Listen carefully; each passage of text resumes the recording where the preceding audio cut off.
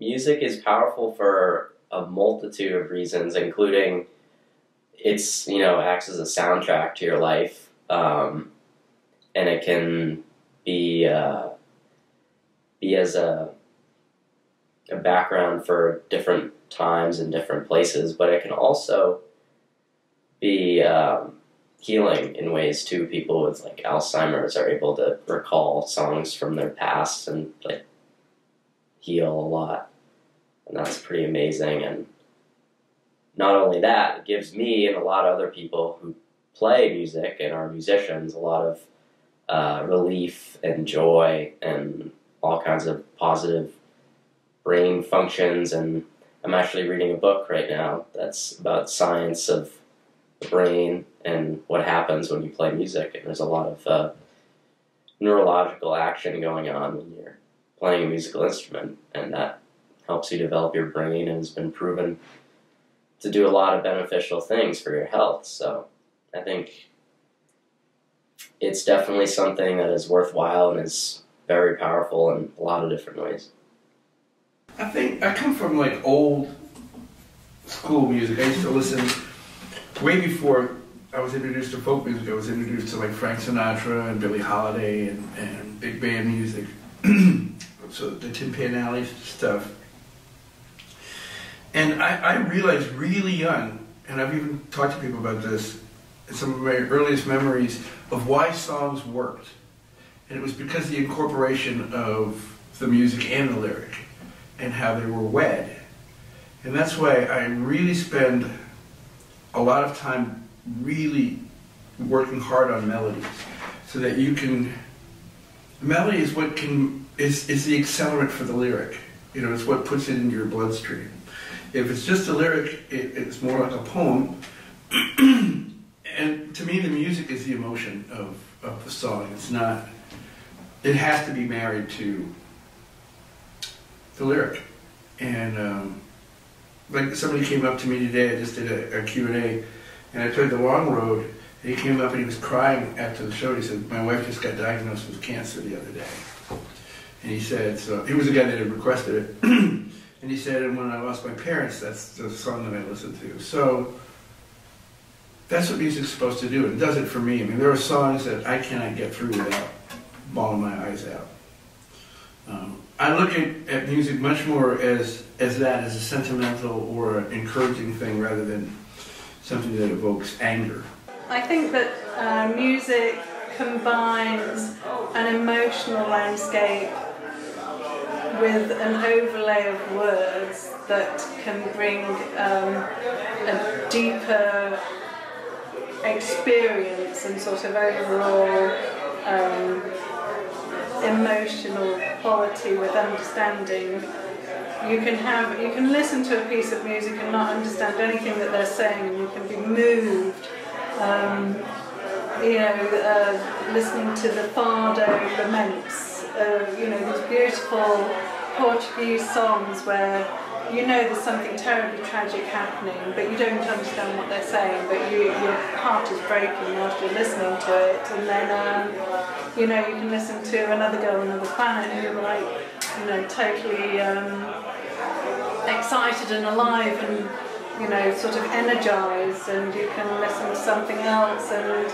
Um, you know, it, it will change your mood, you know, it will bring you up or it bring you down, but I think it's, um, it's the combination of music and lyrics that I find most powerful when you're trying to understand something and the music with the lyrics sort of crystallise something really special. And um, it's just beautiful. I guess my thoughts about music are that it's very valuable, that I hope that everyone has music in their life in some way, and it expresses an inner soul, an inner musicality that is very private in some ways, very intimate, and I think it's a really cool thing to be able to share something that's just from a page and in your mind through an instrument and out to somebody else is pretty amazing. Because, I mean, this is a piece of wood with horsehair.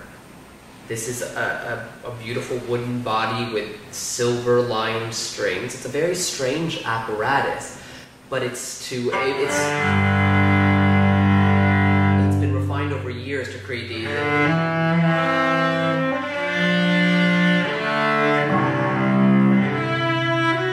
these tones, these beautiful.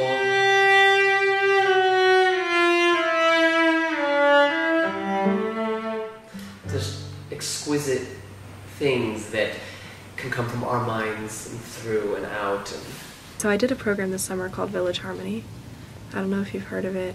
It's um, it's focusing on focused on folk music, singing, and um, basically the teen program, which is what I did, is uh, you go and you spend a week rehearsing, like seven hours a day, rehearsing, and then you go on the road for two weeks and you perform all around New England with, you know, these twenty other kids um, and three adult leaders who are trained in their respective folk fields. Um, generally have like specialties, but you know, um, sometimes jack of all trade. Usually alums of the camp, um, and and that I think was probably one of the most powerful music experiences of my life because it wasn't about it wasn't about the performance. It was about being in the room with people and singing with people and connecting with them on a really really emotional and physical basic level. I don't know if you, like when you sing with people your heartbeats sync up sometimes. Um, and like that happened. I'm sure it happened. Um, and actually this past weekend I went to um, like there's a year group for the, the same program. I went to year group this past weekend and they asked, asked us asked us a similar question and my friend and I talked about it. And so much of music is just about the connection um, and it's about healing and it's about being there with people and it's not it's not about it's not even about creating something new or original or selling records or performing it's just about being there with people and like feeling the history of music and what it can do Pete Seeger told us a little bit before he died that if the world is still here in 100 years, that he thinks that a big reason will be because of singing. Uh, not people singing on their own or listening to people singing on the radio or TV, but singing with each other.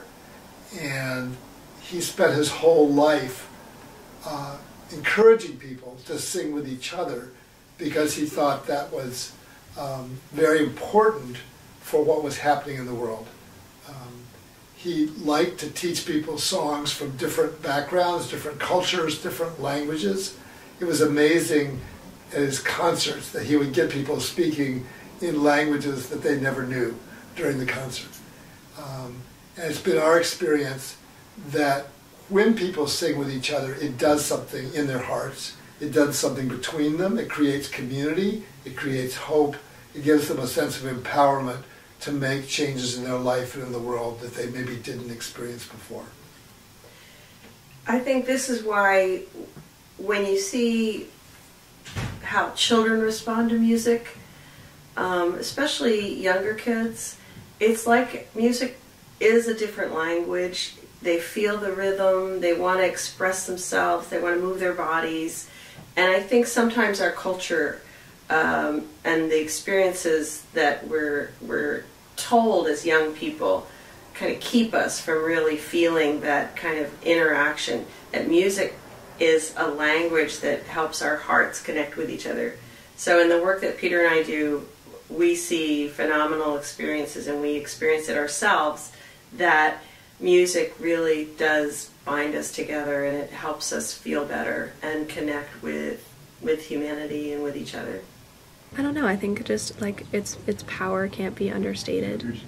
Um, it's pretty life changing stuff. um, and I think that oftentimes, especially in a high school atmosphere, and I, I grew up playing the violin, so I was in an orchestra atmosphere a lot where seating matters, you know, if you're first chair or second chair, um, first violin or second violin, um, and in chorus, you know, who gets solos and who, etc. Um, and I and I and I think that the best thing to do, and this is something that I'm learning more and more after having been in those atmospheres for a lot of my life, is that what makes music powerful isn't the competition and it isn't the um, being the best. As cliche as it sounds it's just it's just loving the people that you're performing with and loving the music that you're performing. And that sounds very like of course let's all sing kumbaya and hold hands. But i mean in a way that is sort of what i'm saying you know I think that because it is so close to the human voice, it has a familiarity and a wistfulness and a melancholy that gets past people's defenses of their the walls they've built up and sort of melts their heart. Uh, I think that also just the, the tone in which it vibrates, the way in which it vibrates, to me is very intimate because it vibrates right next to my heart, the way a cello sits on the body. And so playing the cello is a bit of a full body vibrational experience in a way that a violin might not be quite as much, being up here and at the chin. Um, I'm sure the double bass is, and, you know, but even that is held in a, a different way. So I do think that there is a power to the vibration of a cello that might be unique. I wouldn't say better or worse, but unique.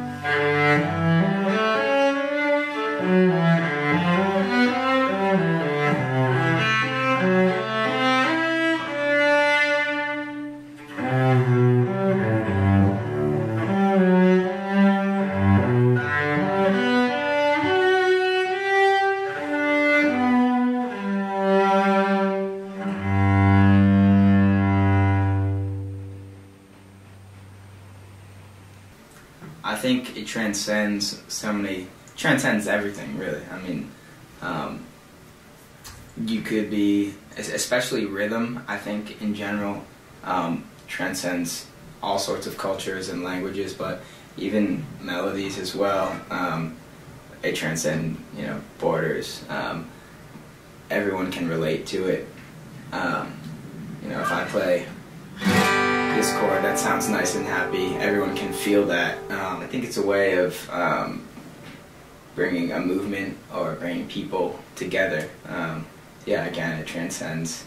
You don't need to have you don't have to speak the same language.